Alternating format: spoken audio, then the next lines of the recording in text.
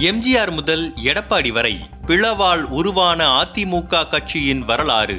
விரிவான தகவல்.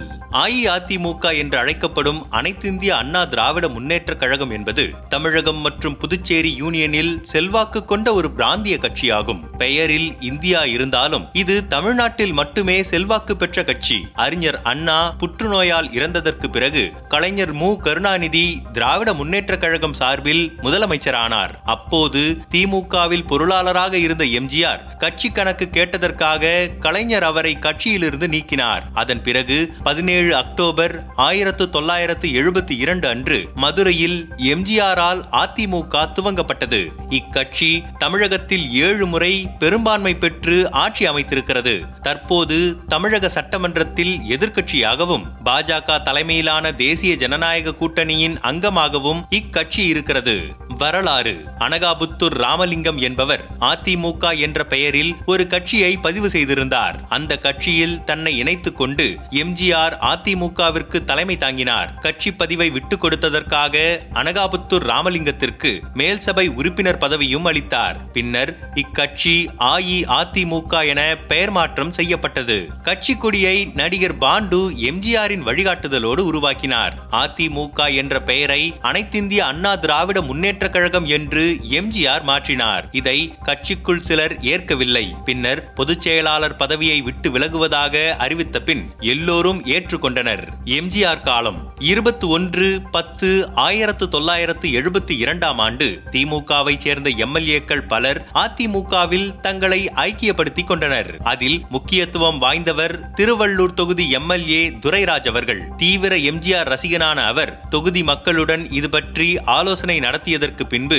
அதிமுகவில் தன்னை இணைத்துக் கொள்ள தயாரானார். இந்த சூழலில் திமுகவினர் கட்சி தாவுவதை எதிர்த்து திமுகவினரே பேருந்துகளை கொளுத்தி தகராறில் ஈடுபட்டனர். அதன் பிறகு சென்னை கடற்கரையில் நடந்த பிரம்மாண்டமான கூட்டத்தில் அதிமுகவின் தொடக்கம் பற்றியும் அதிமுகவின் வருங்காலம் பற்றியும் எம்ஜிஆர் பேசினார். ஆரம்பம் முதலே எம்ஜிஆருக்கு உறுதுணையாக இருந்து வந்த ஜேபிஆரும் முசிறி புத்தனும் இக்கூட்டத்துக்கான ஏற்பாடுகளை சிறப்பாக செய்திருந்தனர். இக்கூட்டத்தில் திமுகவில் இருந்து விலகி காளிமுத்து முனு ஆதி துரைராஜ் எட்மண்ட் ஆகியோர் எம்ஜிஆர் முன்னிலையில் தங்களை அதிமுகவில் இணைத்துக் கொண்டனர். மெல்ல மெல்ல அதிமுக வளர்ச்சியை பெற்றுக் கொண்டிருந்தது. ஆயிரத்து தொள்ளாயிரத்து எழுபத்து மூன்றாம் ஆண்டு திண்டுக்கல் தொகுதி திமுக நாடாளுமன்ற உறுப்பினர் ராஜாங்கம் மரணமடைந்தார். அதன் பிறகு அத்தொகுதிக்கு மே இருபதாம் தேதி தேர்தல் என்று அறிவிக்கப்பட்டது. அந்த சமயத்தில்தான் உலகம் சுற்றும் வாலிபன் படம் வெளியாக காத்திருந்தது. திமுகவுக்கு எதிராக களம் இறங்கியதால் உலகம் சுற்றும் வாலிபன் படத்தை வெளியிட திமுக அரசு தடையாக இருந்தது. ஆனால் எம்ஜிஆரோ அதை பற்றியெல்லாம் கவலைப்படாமல் தேர்தல் பணிகளில் தன்னை ஈடுபடுத்திக் கொண்டார். அதிமுக காணும் முதல் தேர்தல் அதுதான். அதிமுக சார்பில் தொகுதி வேட்பாளராக வழக்கறிஞர் மாயத்தேவர் அவர்கள் நிறுத்தப்பட்டார். மே பதினொன்றாம் தேதி உலகம் சுற்றும் வாலிபனை வெளியிட எம்ஜிஆர் முடிவு செய்து போஸ்டர்களை ஒட்ட உத்தரவிட்டார். ஆனால் அப்போது அப்படத்திற்கு மட்டும் போஸ்டர்கள் மீதான வரியை சென்னை மாநகராட்சி மூலம் திமுக அரசு உயர்த்த சென்னை சென்னையை தவிர்த்து இதர நகரங்களில் போஸ்டர்கள் ஒட்டப்பட்டன. திண்டுக்கல் தேர்தலோ மே இருபதாம் தேதி படம் வெளியீடு மே பதினொன்றாம் தேதி. இரண்டுக்கும் ஒன்பது நாட்கள் தான் வித்தியாசம். ஐந்து புள்ளி இரண்டு கோடி ரூபாய் செலவில் எடுக்கப்பட்ட அத்திரைப்படத்தை எம்ஜிஆரே இயக்கியும் தயாரித்தும் வெளியிட்டார். இது எல்லாம் ஒரு பக்கம் நடக்க திண்டுக்கல் தொகுதி தேர்தலில் திமுக வெற்றி பெற அமைச்சர்கள் அனைவரும் களமிறக்கப்பட்டனர். முதலமைச்சர் கருணாநிதி கிராமம் கிராமமாக சென்று பிரச்சாரம் செய்தார். எம்ஜிஆரோ அனல் பறக்கும் பிரச்சாரத்தை மேற்கொண்டார். தேர்தலில் அதிமுக திமுகவே வென்றது. இதன் பிறகு இந்திரா காந்தியால் கொண்டு வரப்பட்ட எமர்ஜென்சி காலத்தில் திமுக ஆட்சி சட்டவிரோதமாக கலைக்கப்பட்டது. ஆயிரத்து தொள்ளாயிரத்து எழுபத்தி ஏழில் நடைபெற்ற தமிழக சட்டப்பேரவை தேர்தலில் மார்க்சிஸ்ட் கட்சி ஃபார்வர்ட் பிளாக் முஸ்லீம் லீக் ஆகிய கட்சிகளுடன் கூட்டணி வைத்து போட்டியிட்ட அதிமுக பெரும்பாலான இடங்களில் வெற்றி கண்டது. நான்கு முனை போட்டியில் திமுக மொத்தம் இருநூற்று முப்பத்தி நான்கு இடங்களில் வெறும் நாற்பத்தி எட்டு இடங்களை மட்டுமே பெற்றது. ஜெயலலிதா காலம். தமிழக முதல்வராக இருந்த எம்ஜிஆர் டிசம்பர் இருபத்தி நான்கு ஆயிரத்து தொள்ளாயிரத்து எண்பத்தி ஏழில் மரணமடைந்தார். அவருக்கு பின் யார் தலைமை தாங்குவது என்ற கோஷ்டி சண்டை நடந்தது. ஆர் எம் வீரப்பனின் ஆதரவுடன் எம்ஜிஆரின் மனைவி வி. என். ஜானகி தலைவராகவும் முதல்வராகவும் ஆனார். அதை ஜெயலலிதா ஏற்கவில்லை. நூற்று முப்பத்தி இரண்டு சட்டமன்ற உறுப்பினர்களில் முப்பத்து மூன்று பேர் ஜெயலலிதாவை ஆதரித்தனர். மற்றவர்கள் ஜானகியை ஆதரித்தனர். சட்டமன்ற பேரவைத் தலைவர் பி. எச். பாண்டியனும் ஜானகியை ஆதரித்தார். பிறகு ஜனவரி இருபத்தி ஆறு ஆயிரத்து தொள்ளாயிரத்து எண்பத்தி எட்டில் சட்டமன்றத்தில் நம்பிக்கை வாக்கெடுப்பு நடந்தது. இதில் ஜெயா கோஷ்டியும் ஜானகி கோஷ்டியும் மோதிக்கொண்டனர். நூற்று பதினோரு உறுப்பினர்களுடன் ஜானகி வெற்றி பெற்றதாக அறிவிக்கப்பட்டது. ஆனால் சட்டமன்றத்தில் கலவரம் நடைபெற்றதால் ஒன்றிய அரசு ஜானகி ஆட்சியை கலைத்தது. ஜனவரி இருபத்தி ஒன்று ஆயிரத்து தொள்ளாயிரத்து எண்பத்து ஒன்பதில் சட்டமன்ற தேர்தல் நடைபெற்றது. இதில் திமுக வென்றது.